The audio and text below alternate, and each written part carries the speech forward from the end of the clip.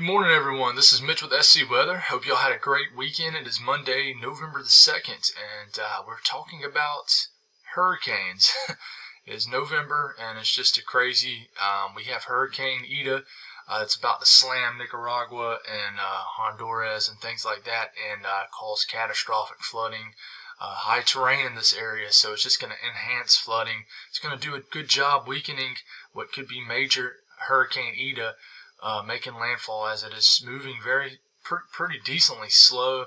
I mean, not that slow, west at 12 miles per hour, but it might slow down according to the HWRF model, definitely, um, as it gets closer to the coast.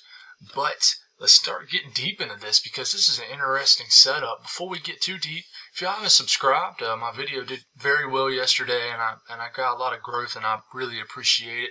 Uh, hit that subscribe button. I talk weather here in the southeast. I'm also a storm chaser. I like to go out and um, chase events if it isn't too long of a drive. I really do that here in the state of South Carolina, but I have a lot of videos of um, different chases that I have done. Uh, so uh, hit the subscribe button. I just appreciate y'all watching. It's awesome. It's uh, much appreciated. Um, but here we go. Um, it is now, as I looked over here, it is a hurricane, 70 mile per hour hurricane. It might be stronger. This is as of 4 a.m. Eastern Standard Time. So this is pretty much the latest update. It might be even stronger. Would not be surprised on the next update. But here you go. You got Eta spinning away out here. It looks like a decent, a, a good looking hurricane here. Um, and it's and it's getting its act together fast. You, it's starting to close around its eye. You're not getting a lot of uh, dry air getting in there. If it can get that eye um, closed off all the way, uh, you're definitely going to get RI, which is rapid intensification, as it nears uh, Nicaragua and Honduras. So uh, this is the HWRF model, and this is uh, initializing here this afternoon. That's a 955 storm, so uh, it has it strengthening very fast this morning into the afternoon. And look at the speed; it's just slowing down. We're getting into Tuesday. Um, it's not moving very fast. There's not really anything like a front that far south to really push it or anything, any kind of steering currents to really move fast. And we're getting into 12 o'clock Tuesday and it still hasn't made landfall. But check it out. Um, this model has it just spinning away off the coast of um, Nicaragua and Honduras and uh, just strengthening. And eventually it just does some upwelling and um, it, it, it kind of I think probably turns up some cool water and quick strengthening. But this is a Category Five hurricane, Category Four hurricane slamming into this area. Obviously, it weakens quickly as we get into Wednesday, and uh, just causes catastrophic flooding for this area. High terrain for sure, um, but this storm we need to watch because um, as we get into the end of this run, the storm gets oh back over water, the Western Caribbean, and look, it drops. It starts to drop again and it starts to strengthen again. So this is what we have to watch. Um, I do want to show you this. Let's see if we can start it over here. Um, uh, it's about to start over here. This is the loop. This is the the spaghettios for where a system would be. It has it. You know, we're getting into Friday, Saturday, but check it out. We get into the weekend. It gets back over to Western Caribbean, and all of them get scattered everywhere. This is this is the uh, the EPS ensemble saying where whatever's left of Eta could be. Um, again, it shows it hitting um, Nicaragua, Honduras, get back over to West Caribbean, but check out.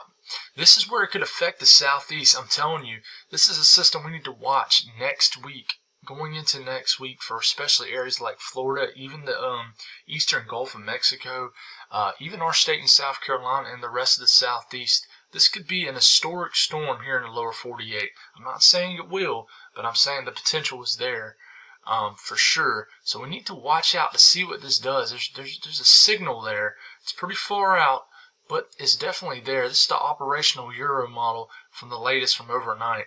And, you know, it pretty much shows Eta hitting uh, Nicaragua, Honduras, um, kind of, you know, weakening, obviously due to high terrain, mountains. Um, there it is still. But eventually, it gets back over land, uh, over my bad, over the waters of the Western Caribbean. There's still warm water there, but look what it does. It like gets caught up in some currents, and uh, it just sits in one spot and turns into a monster of a storm south of Cuba. That is a Category Four hurricane, no doubt. maybe even stronger. This is a Category 5 hurricane, and it's starting at the end of the run next Wednesday into Thursday. Next Wednesday into Thursday, trying to sneak more north. This is very far out, but there is a very dangerous signal here for something. I'm telling you. Um, this is the o, uh, the OOZ uh, model here, and we're going to back it up obviously here, and you know check it out. Um, see if we can get her rolling here. GFS definitely has Eta strengthening big time. Gets called up in Honduras and Nicaragua, and it gets back over land, and it's just having trouble figuring out where the rest of Eta would be. This is would be this weekend, but um, it's south of Cuba here. So this is getting into Sunday. This is getting into Monday. And, and it's it's just inching north. It's trying to get north. Trying to fight off steering currents. It's, it's not allowing it to easily get north. But this is that classic path for tropical systems this time of the year. Uh, this is getting deeper into November. We're almost getting into mid-November, and we're still dealing with a storm. This is next Wednesday. We're still talking about Eta. This is going to be a storm we talk about for a while. I really do think so. And get check it out. It's a hurricane infecting the tip of Florida as we get into next Thursday. But what we'll do after that, we're not sure. Eventually, probably a front starts to push it on out. But this is a monster off the coast of the southeast, uh, about two weeks out, which is no man's land. We have no idea what's going to happen two weeks out. But um, then we get another one that forms right here and just kind of pops off. But um, the latest run has not really came through yet, so we don't really know what it's going to do. Um, but it, it's showing the same thing. Let me see if it's going to initialize here. But yeah, I mean, same thing. You know, it shows it's strengthening. And uh, this is the latest run, but it only gives out to 114 hours. But it still is giving you the same idea, the same signal that it's going to get back over the Western Caribbean and try to re-strengthen again.